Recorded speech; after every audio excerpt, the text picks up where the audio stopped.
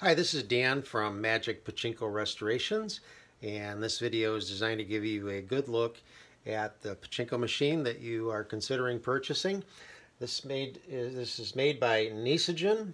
Uh, this is a Model A recycler. Um, I'll show you what that means when we look at the back side of the machine. The the date on this, I, I wasn't able to see uh, the, the number that tells me what the date of the manufacture was. So my guess is probably early 70s on this one. Um, everything that you see, uh, whether it's plastic or metal, gets taken off the machine. Um, every part gets taken off.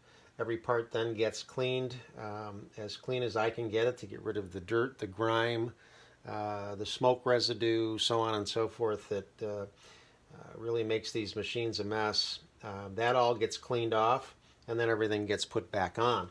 So all of the plastic, all of the nails get taken out, the stainless steel rails, everything you see gets taken off, cleaned. I tumble the nails so that it gets rid of all the tarnish on the nails, get rid of any rust. Um,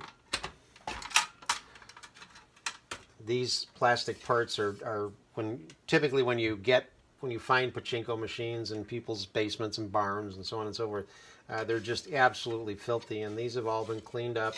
Again, all the plastic parts have been waxed.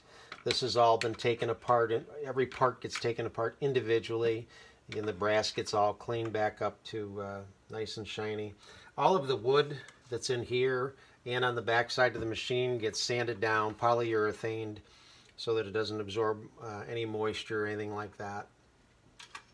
This down in here, this area in here that may look dirty on the video, up in here, the dark spots, uh, that's not dirt. Um, that's actually very clean, but it is, um, over the years, uh, moisture seeps underneath the, the uh, playfield, what they call the playfield, and it stains the wood that's underneath. So that's what that is. That's not dirt. That's just uh, what they call water damage. It's just something that happens to the, the pachinko machines over time. So I'm going to put some balls in the upper hopper. And we'll, we'll show you how the, the machine plays. The nice thing about pachinko is anybody, any age can play it. It really doesn't require any skill. There is some uh, technique involved, of course, in for winning, but uh, skill-wise, as long as you can do this, you can play pachinko. So it's just a matter of launching the balls and then letting gravity take over. The ball went in there. Uh, that triggers the whole mechanism. I'll show you that in just a minute. Uh, the center light lights up, lets you know that you have won a prize, and 14 balls come out up here. That's the, the prize for winning. Um, notice that this tulip, they call it a tulip, is now closed. Um, it makes it much more difficult to get the ball in there than it is when it's open. Um, but keep in mind that the pachinko parlors didn't want you to win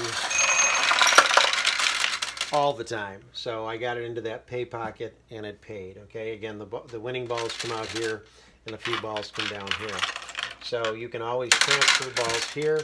If you get too many in this tray, you just pull back and they'll go down into the lower tray depending on, on how you have this machine mounted, it's freestanding now. Um, this one doesn't have any uh, stabilizing feet on it, so it is a little bit tippy. You wouldn't, you probably wouldn't want to play it this way. You'd probably want to put some stabilization feet on it, or mount this into a cabinet and put it on the wall. But uh, it's just a matter of reaching up over the top of the machine and, and putting the balls back in the hopper. Uh, this is plugged in. Uh, it's a 9 volt power supply. So uh, let me turn it around.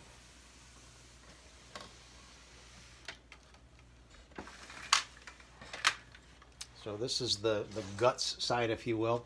This is the 9 volt power supply. Just goes up here, uh, ties in, goes through a fuse. It's only 9 volts. It's just enough to light a light bulb here or a light bulb here. This is the jackpot light bulb. It's real easy to change if it ever goes out and this is what's called the ball out light.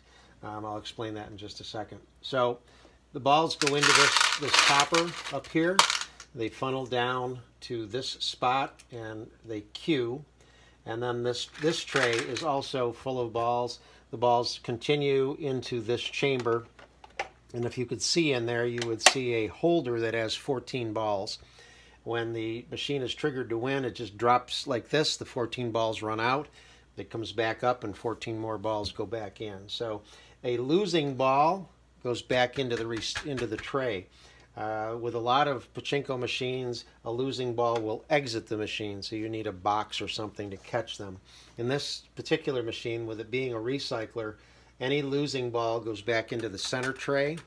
Um, when the center tray starts getting empty, if it pays out a lot, this will automatically open up and let more balls in. So it's it's pretty rare that you have to put balls into this particular kind of machine. It just keeps using them over and over and over again. Again, everything you see on here has been taken off, thoroughly cleaned. The board gets sanded down, it gets polyurethaned, uh, and then all of the parts get put back on. Um, you'll see all the parts are put back on with screws. When they were manufactured 45, 50 years ago, most everything was, was just stapled onto the board. Um, those staples are all rusty. They get taken off and thrown away. And uh, screws are now in place to hold everything in place. Okay, This frame is red mahogany. It's a very pretty wood. Uh, actually, it's kind of a rare wood now. Uh, back 45, 50 years ago, it was fairly common, but uh, this has all been sanded smooth and again polyurethane to protect it. Um, all of the mechanism is is clean. These are all brass pieces. Again, they've all been cleaned up and uh, fully functional. So uh, what I offer uh, above and beyond this particular video will be another video that will um, show you again how to load the hopper, uh, where to look in case a ball gets stuck or something like that uh, my phone number, my email address. Um, I'm available anytime. Um, I'm retired. This is what I do for fun. So I enjoy talking to people about the pachinkos. I would always be there if you ever needed me uh, for any problem with the machine.